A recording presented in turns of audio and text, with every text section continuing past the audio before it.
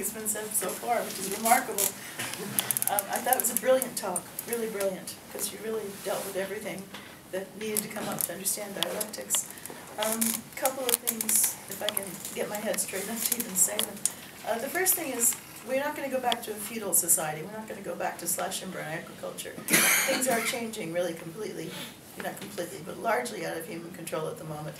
What I'm thinking is that when a revolutionary society is created, what's gonna happen is the boundaries of the contradictions will change. There'll still be contradictions, but they won't be between capitalism and socialism. They'll be between different kinds of socialism, different kinds of approaches to problems. And I think, you said yourself, the relationship between the environment and war is something which becomes very, very hard to separate now with climate change. The question that I have is about chaos theory and how that relates to the dialectic. Because my understanding of chaos theory is that a very tiny change that's almost imperceptible over a period of time can result in major, you know, changes in, in the world. Um, if a ship starts one degree off course, it can end up really in the wrong place, which is what I think society has done. But just your comment on that.